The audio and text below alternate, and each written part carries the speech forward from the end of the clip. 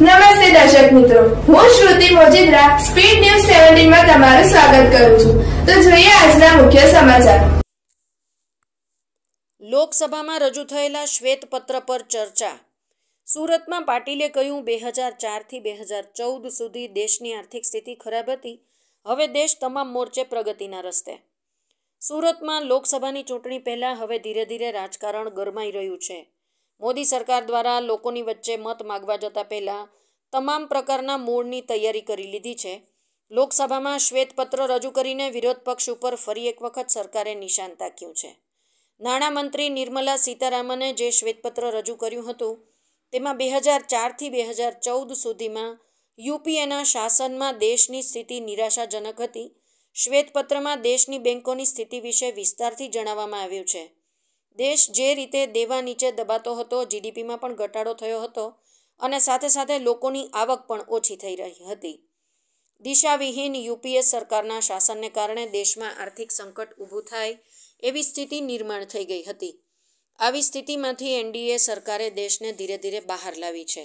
પ્રદેશ અધ્યક્ષ C R પાટીલે જણાવ્યું કે, મોદી સરકાર શાસનમાં આવી ત્યારથી યુપીએ સરકાર દ્વારા જે દેશની પરિસ્થિતિ કરવામાં આવી હતી તેમાંથી ખૂબ મજબૂત નિર્ણયો લઈને દેશમાં એક નવી આશા જગાવી હતી. આર્થિક મોરચા ઉપર જ્યાં દેશ પાછળ ચાલતો હતો, તે હવે સતત પ્રગતિ કરી રહ્યું છે. દેશમાં બેંકોની સ્થિતિ સુધરી રહી છે. કોરોના કાળ જેવી વિપરીત પરિસ્થિતિમાં પણ દેશ અડીખમ રીતે ઊભો થયો હતો અને ત્યારબાદ સતત દેશે તમામ મોરચે પ્રગતિ કરી છે. દેશમાં યુવાનો, મહિલાઓ અને ગરીબો માટે મોદી સરકાર અનેક યોજનાઓ અમલમાં મૂકી, જેનો લાભ આજે દેશના અનેક લોકો લઈ રહ્યા છે. મોદી સરકારના શાસનમાં આર્થિક રીતે વિશ્વની ત્રીજી ઇકોનોમી થવાનું જે સ્વપ્ન જોવામાં આવ્યું છે તે પણ હવે સાકાર થશે. સુરતના સાંસદ દર્શના જરદોશે જણાવ્યું કે આજે મોદી સરકારે જે ગેરંટી આપી છે તેના ઉપર સરકાર ખરી ઉતરી છે. ગુજરાતના જ નહીં, પરંતુ દેશભરના લોકોને વડાપ્રધાન નરેન્દ્ર મોદીમાં અતૂટ વિશ્વાસ છે.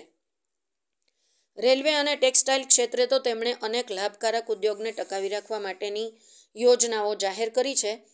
પરંતુ તેમણે રામ મંદિર નિર્માણની ગેરંટી, ત્રણસો સિત્તેરની કલમ દૂર કરવાની ગેરંટી તેમજ અનેક તેમણે આપેલા વાયદા પૂરા કર્યા છે. રેલવે કોરિડોરની વાત હોય, નવા દેશભરમાં અલગ અલગ હાઈવે બનાવવાની વાત હોય, મોદી સરકાર તમામ ક્ષેત્રની અંદર ઝડપથી કામ કરી રહી છે. ગુજરાત સરકારમાં આદરણીય મંત્રીશ્રીઓ શ્રી હર્ષભાઈ, શ્રી મુકેશભાઈ, શ્રી પ્રફુલભાઈ, સુરત શહેરના મેયરશ્રી સૌ ધારાસભ્યશ્રીઓ સૌ આગેવાનો.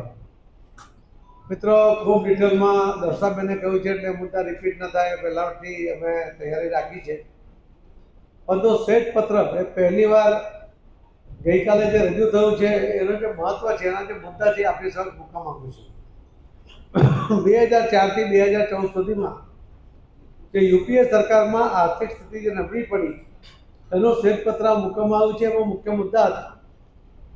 એમના જે ફાઇનાન્સ મિનિસ્ટર નિર્મલા સીતારામજીએ કહ્યું કે એનડીએ સરકારે વર્ષોના સંકટને પાર કરી લીધું છે. એટલે જે યુપીએ સરકારમાં જે નુકસાન થયું છે કે મોદી સાહેબની એનડીએની સરકારમાં એ હવે સંકટને પાર કરી દીધું છે. અને અર્થવ્યવસ્થાને સર્વાંગીણ વિકાસની સાથે સાથે ઉચ્ચ વિકાસ પથ પર મજબૂતી સાથે મૂકવામાં આવ્યું છે. એ જોવાનું છે કે આપણે બે હજાર દિવસ સુધી ક્યાં હતા ને હવે ક્યાં છીએ? આ શ્વેતપત્રના મુદ્દાઓ છે. શ્વેતપત્રમાં કહેવાયું છે, યુપીએ સરકારે દેશનો આર્થિક ઢાંચાને કમજોર કર્યું છે. યુપીએ કાળમાં રૂપિયામાં ભારે ઘટાડો થયો હતો. બેન્કિંગ સેક્ટર એ સંકટમાં હતો. વિદેશી મુદ્રા ભંડારમાં ખૂબ મોટો ઘટાડો થયો હતો. મોટું દેવું કરવામાં આવ્યું હતું.